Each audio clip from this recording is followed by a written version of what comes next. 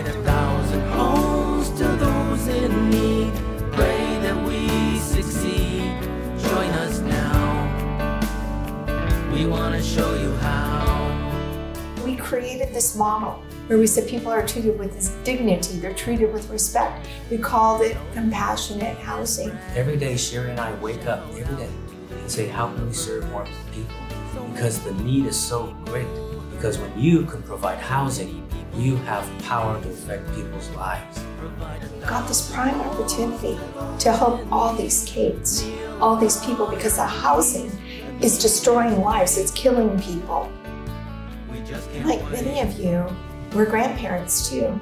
Our life went from Camelot, you know, because as life happens, and like many of you, we found that we needed to care for our grandchildren. And grandchildren were ages one and three.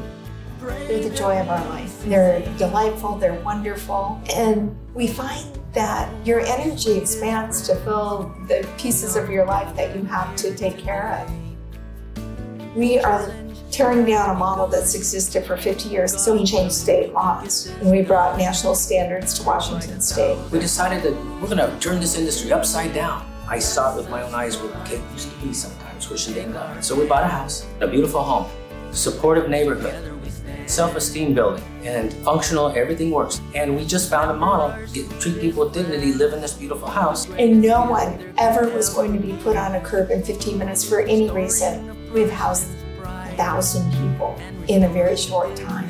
It's not just recovery homes.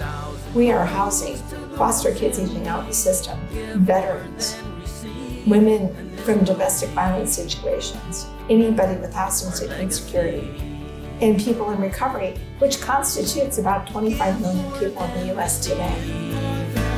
Kneel upon our knees, bless us for our deeds and pray that we succeed.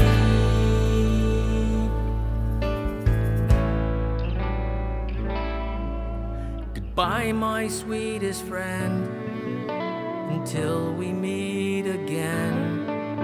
have things to do to make a thousand dreams come true provide a thousand homes to those in need. A heavenly achievement indeed. We gotta start now.